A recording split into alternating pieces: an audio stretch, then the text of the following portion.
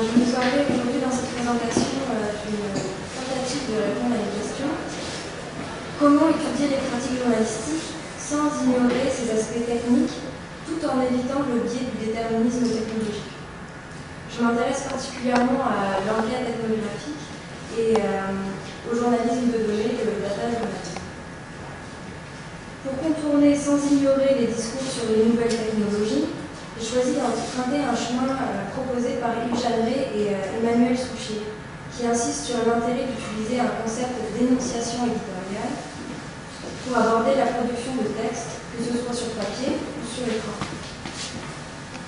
Leur approche sémiologique prend en compte la spécificité de la nature du travail de conception d'un texte. Je pense que ça va nous permettre de mettre en valeur les techniques plus intangibles, plus ou moins, euh, moins documentées, de la production de textes qui ont tendance à être éclipsés par le discours sur les nouvelles technologies. Le concept que j'ai choisi de reprendre et de développer pour les temps de ma recherche est le chemin de fer de la presse. Cet exposé s'articule en quatre parties. On va d'abord revenir rapidement sur l'intérêt du concept d'énonciation éditoriale énoncé par Jeanne et Souchy, puis définir et adapter le terme existant de chemin de fer de la presse, et nous verrons comment ce concept peut nous aider à aborder l'enjeu du pluralisme de l'information avec le processus de construction et de déconstruction de la culture d'énonciation éditoriale. Pour finir, je vous présenterai ce que j'envisage comme recherche ethnographique. Cette articulation, cette articulation vise d'une part à allier une analyse macrologique critique et une analyse ethnographique micrologique. J'essaierai de reprendre et d'illustrer la critique d'Harold sur les tests de l'industrialisation sur la culture. Cette articulation vise aussi à faire le lien entre préservation d'une culture de l'énonciation éditoriale et pluralisme de l'information. Les producteurs, comme les lecteurs, ont besoin de repères culturels pour se positionner dans leur pratique de tous les jours, pour comprendre les enjeux.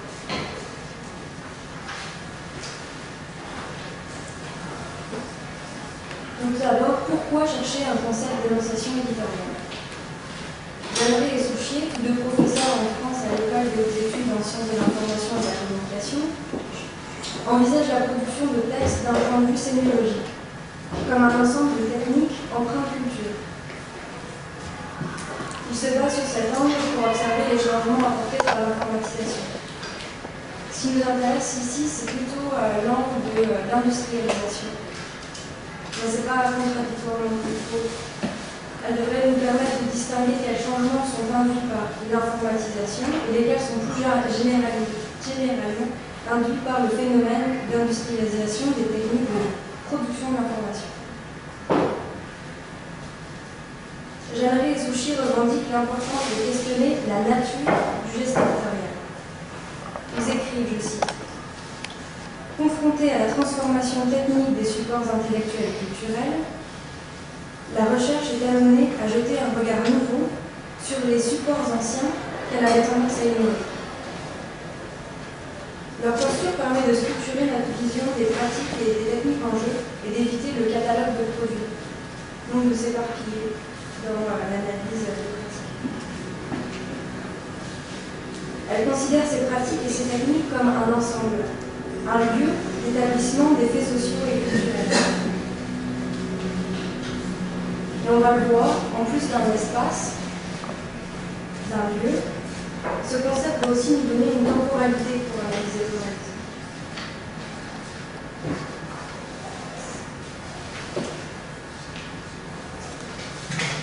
Alors, cette mystérieuse expression chemin de est utilisé au sens littéral et premier par le domaine de l'édition comme agencement de contenu.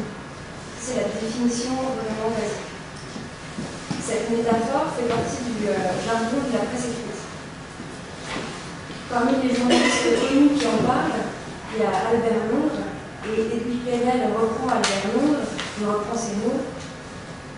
Ma ligne, disait ce prince du reportage, ma seule ligne, la ligne de chemin de fer c'est évocateur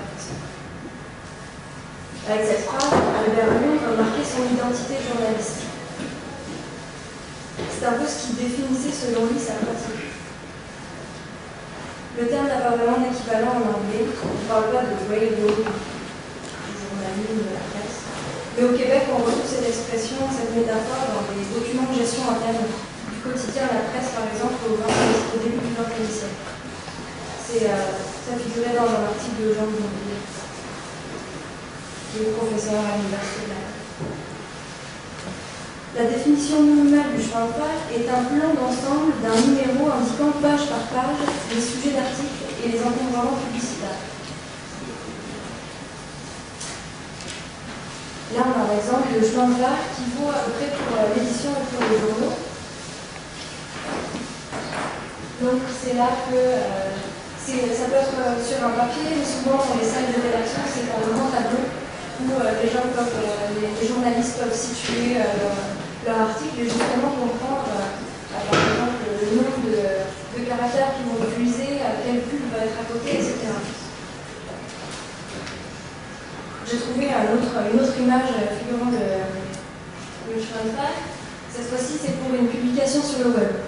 Donc euh, là, la différence, c'est sur des post Et donc, on voit qu'il y a au moins cette idée d'ordre page par page. Et euh, c'est tellement facile qu'il y a des post qui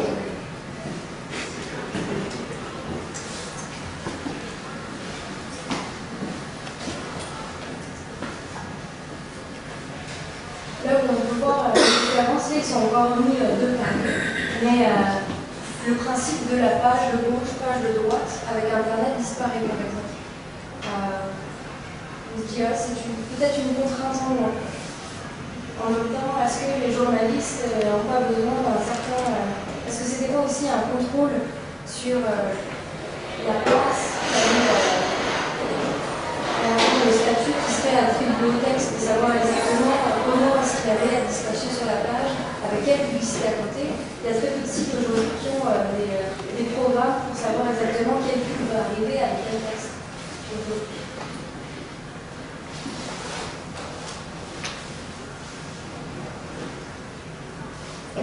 gérer les souchiers, que ce soit euh, sur du web ou du papier, je cite, le média de l'écriture n'est pas seulement un lieu de passage d'infos informationnelles, c'est un objet matériel configuré qui cadre, inscrit, situe et par là même donne un statut au texte.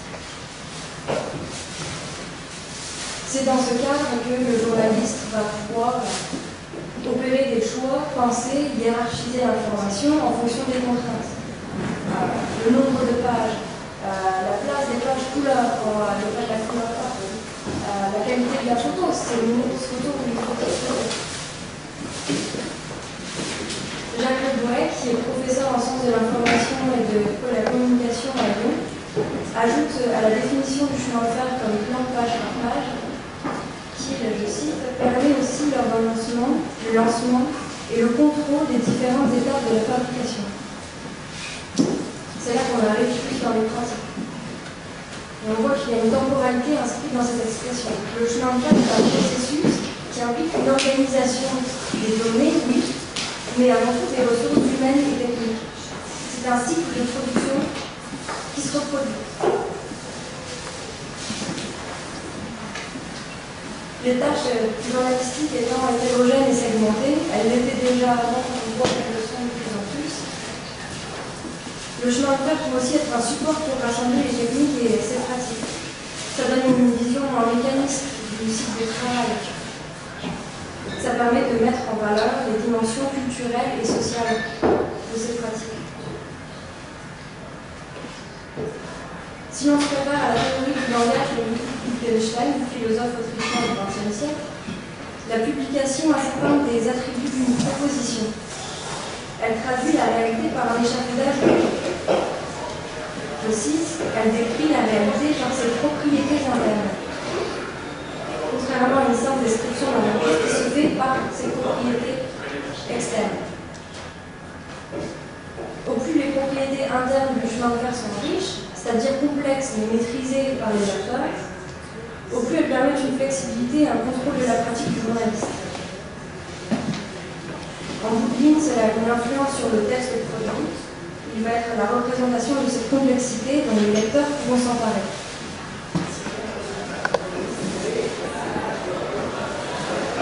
Revenons mantra, je deviens un paradoxe. La répétition dans un cycle de production va à la fois permettre la création de repas pour la pratique professionnelle, mais une forme automatisée, cette répétition deviendrait destructrice. Harold Ginis parle bien de destruction continue, systématique et imputatoire des éléments de permanence, essentiels à l'activité culturelle, par l'industrialisation. J'aimerais toucher, qui parle un peu de l'informatisation, parle aussi du primat d'une forme de rationalité, du passage au stade totalitaire de la textualisation. Le chemin de croix repose sur la répétition d'un cycle de travail, on l'a vu, qui est ponctué par la production d'un ensemble de textes. Il pourrait avoir en lui ces deux types de, de répétition. Dans un cas, on utilise une même grammaire qui permet au texte d'être produit compris par un ensemble de personnes, la répétition d'un cycle de production permet la reproduction des repères, mais avec une adaptation. D'une part à court terme, par exemple, c'est l'adaptation à l'actualité dans le cas de la presse. Aujourd'hui, c'est la ligne de droit. On peut s'imaginer un tas de choses comme l'ingénierie inversée, ça ne marche pas trop pour euh, interpréter la ligne d'un journal, mais euh, on imagine bien quel genre de travail il y a pu avoir derrière. S'il y avait une, une grosse information, il y a autant de titres partout. Euh, la grosse image avec, euh, avec l'eau, c'est euh, pour euh, illustrer un article qui, qui est une série d'articles. C'est pas, même pas le premier article d'une série. Donc, on voit aussi que peut-être qu'on n'aurait pas pu prendre, même s'il est intéressant, l'article de droite, on n'aurait pas pu mettre ça en image principale. Il y a une photo vraiment euh, telle résolution, une dame mais euh, donc voilà, euh, comment dire, toutes les sortes d'adaptation et de, euh, de décision qui doivent se en amont.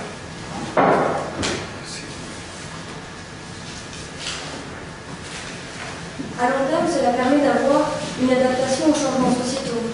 Idéalement, le lectorat et la façon de percevoir le rôle du journalisme évoluent et la pratique journalistique évolue avec.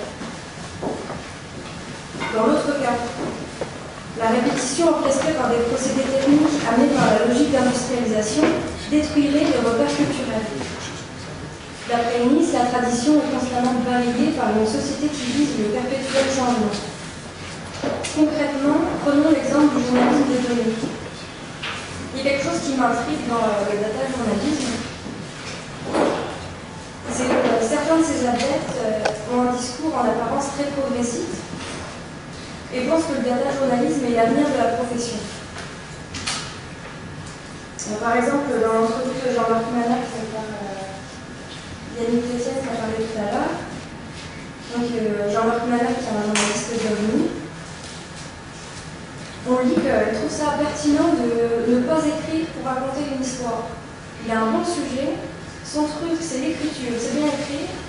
Là, euh, il se dit non, je veux faire quelque chose de nouveau, je ne vais pas écrire à partir des chiffres qu'il a eu euh, d'immigrés euh, qui, euh, qui, traversent la Méditerranée, si je me souviens bien, il décide d'écrire, de faire des gros dessins de bonhomme pour dire ok tant de personnes à ce moment-là, puis un petit bonhomme pour dire à ce moment-là, en tout cas ça grossit. Et puis il va donner ça à, un infographiste pour mettre le dessin bon. Pour moi, il y a une confusion là et si c'en est bien une, j'aimerais aller sur le terrain et voir comment elle est.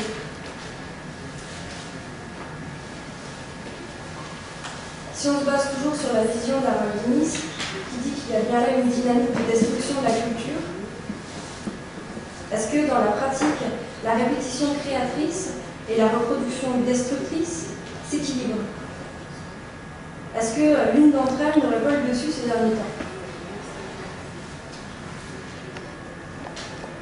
Commencer à répondre à cette question, j'ai trouvé une définition intéressante d'un professeur en communication américain, John Leroy. Sa définition est liée à l'histoire, et je cite L'histoire du journalisme réfère à l'émergence d'un ensemble de valeurs et d'explications qui disciplinent, régulent et justifient les nouvelles pratiques. Mais il faut produire vite, toujours plus vite, et les nouvelles pratiques sont inventées avec cette intention, pour reprendre la terminologie de Raymond Cognès, professeur marxiste également. Donc, euh, il dit que ce n'est pas, pas, un phénomène de euh, la création d'une technique, elle est toujours empreinte d'une intention et d'un contexte social, économique, culturel. Soumis aux logiques de l'industrialisation, les cycles tendent à se raccourcir et surtout tendent vers l'automatisation.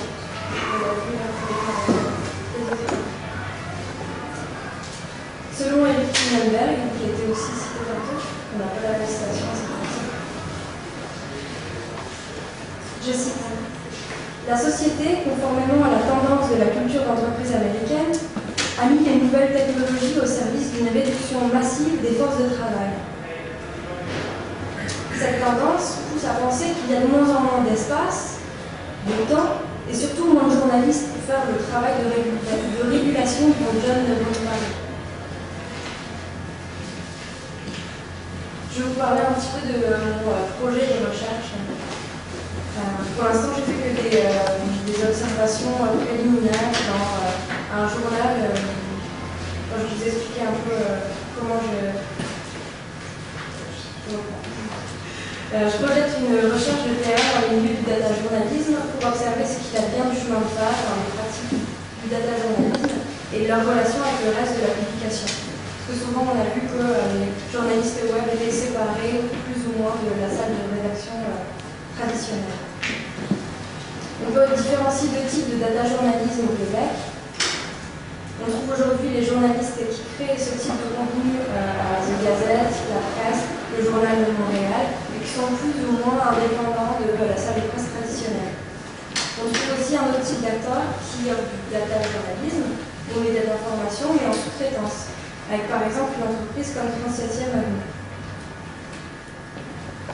Le système de la sous-traitance n'est pas nouveau euh, pour ce type de travail, qui était, euh, déjà au courant avec euh, les entreprises d'infographie. C'est d'ailleurs dans une entreprise d'infographie avec qui Québécois traitait qu'ils ont recruté un actuels data journalistes, qui est plutôt infographiste et programmeur autodidacte. Donc on voit un peu le lien en tout cas avec ces deux pratiques.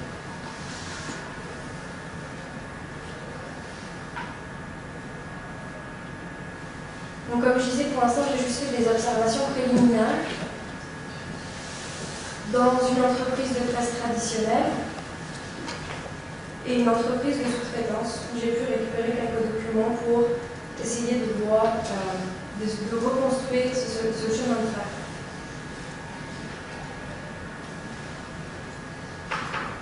Le document de travail principal d'une entreprise de, sous-traitance, en quelque sorte, euh, c'est en quelque sorte une représentation de chemin de fer, mais qui parle de but en blanc de commercialisation. Il faut vendre le produit en anticipant sur la demande des journaux et des magazines qui achètent le produit. En réunion de production, un pigiste propose un sujet sur le lien entre maladie mentale et vocation de cadre dirigeant. Quelqu'un dit, ça c'est pour job Le sujet vient juste d'être pitché et on réoriente, enfin on oriente vers le, placement, la ligne éditoriale d'un journal qui pourrait être susceptible d'acheter ce produit-là. Le pigiste aura un pourcentage, le pourcentage sur euh, euh, la vente du, euh, sujet s'il est vendu, mais il est très peu probable qu'il écrive lui-même l'article. Donc le but de cette recherche serait de, reconstituer le site de production à partir des observations.